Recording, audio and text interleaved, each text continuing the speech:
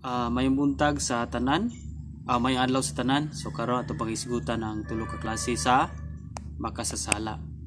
Ah, dunay tulo ka klase sa makasala nga gisulti sa Biblia. Una, kini makasala nga wala gyud kaila sa Ginoo.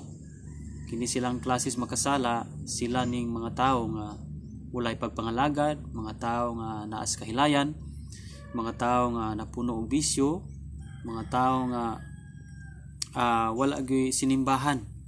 Mao ni sila ang unang klases makasala. So ang ilang buhaton para makabaton sila sa kinabuhing walay katapusan ug mapasaylo ang ilang mga kalapasan is muduol sila sa Ginoo o maghinulsol sa ilang mga kalapasan ug mudawat ni Kristo. So ikaduha mao ang makasala nga naana sila sa Ginoo apan na backslide ba mao ni sila ang klases makasala o mga tao nga dasig sila sa una apan karon wala nay sinimbahan karon. Ah, wala ang dili na tig-adto ang simbahan dili na aktibo wala na nagsimba o nibalik na sa karaang kinabuhi. So sila ni mga tao nga tungod sa mga sitwasyon nga naabot silang kinabuhi nangabugnaw sila sa pagpangalagad. O tungod sa mga dili nila mahambin o mahandol nga mga problema muna nga gibiyaan nila ang Panginoo. So ang buhaton nila para nga makabalik sila sa presensya sa Ginoo is ipaubos sila ang kaugalingon o mubalik sila sama sa prodigal son nga nagpalayo to siya sa amahan. Although anak gito siya apan iabot sa punto nga ganahan gid siya magpalayo. So moabot naabot pus point nga nakarealize ra pud siya. O nibalik siya sa Ginoo sa amahan niya o gidawat siya. Muna nga katong mga nabackslide diha ah, ang Dios naghulat ra nga mobalik ka sa iyang presensya. Kung unsa may nabugnawan nimo unsa mga problema unsa sitwasyon nga mo nakapabugnaw nimo ah, ang Dios nagahulat kanimo o aron nga i-restore niya ang imong kanhing kadasig nga imuhang nabiyaan.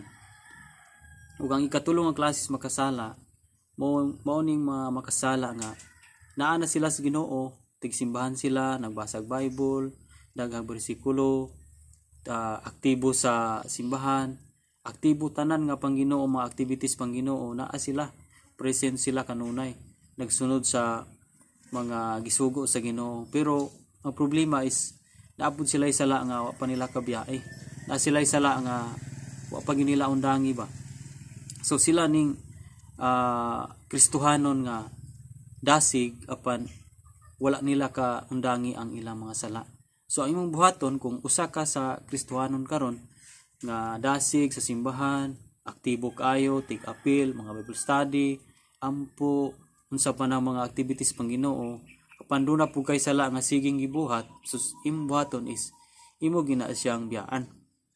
Imo gina siyang ah, talikdan. Kung unsa pa mga buhata nga iyas kalibutan nga di may muta sa Ginoo. Kay mao ni ang maka sagabal sa imong pag-ampo nga dasig unta ka kristohanon ka.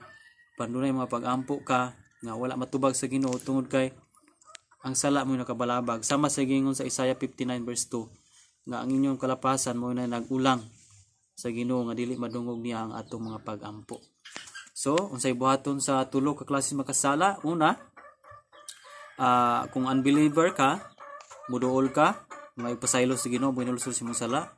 Kung backslider ka, mubalik ka sa Ginoo, ipaubos imong kaugalingon, balik ka sa presensya. Ug kung Kristohanon ka, biyae ang imong sala, talik di ang mga buhat nga dili kay mutan sa Ginoo. So mora ni ang tulo ka klase makasala and hopefully natay nakuha ang mga pagtulunan. God bless o salamat sa imong pagtanaw.